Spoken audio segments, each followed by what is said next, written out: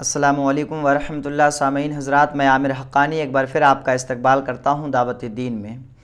ہمیشہ کی طرح میں آپ کی خدمت میں دعوت دین چینل کی جانب سے آج بڑی اہم معلومات دین کی لے کر کے آیا ہوں۔ لہٰذا اگر چینل پر نئے ہیں تو چینل کو سبسکرائب کر لیں اور گھنٹی کو دبائیں تاکہ دین کی اہم معلومات آپ کو جلد سے جلد ملتی رہے۔ آئیے آج کا سوال جانتے ہیں، آج کا مسئلہ جانتے ہیں۔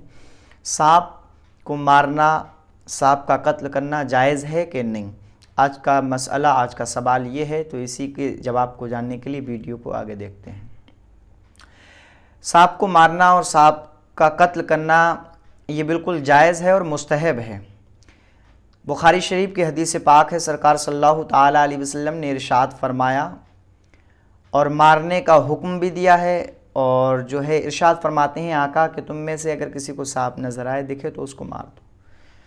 اور اگر کوئی یہ خوف کھائے اور خوف کھا کر اس کو چھوڑ دے، نہ مارے، تو سرکار فرماتے ہیں وہ مجھ میں سے نہیں ہے یعنی ہم میں سے نہیں لہٰذا اگر آپ کو کہیں سانپ ملے اور آپ کو دکھے، آپ مارنے پہ قدرت رکھتے ہیں، تو اس کو مار سکتے ہیں۔ مارنے کا بالکل آپ کو مکمل حق حاصل ہے، اجازت ہے، آپ کو مار سکتے ہیں آپ اس کو مار سکتے ہیں۔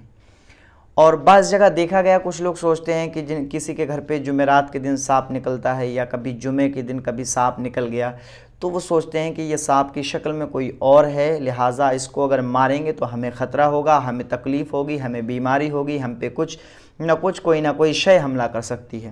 تو آقا نے اسی کے تعلق سے فرمایا ہے، جو شخص اس چیز کا خوف کھائے اور اس سے باز آئے نہ مارے اس کو، تو وہ ہم میں سے نہیں ہے۔ لہٰذا اگر آپ کو کبھی سانپ نظر آئے یا آپ اس کو مار سکتے ہیں۔ آپ کے گھر میں یا آپ کے کہیں بھی آپ کو دکھائی دے تو آپ اس کو ماریں، یہ بہتر اور اچھی بات ہے۔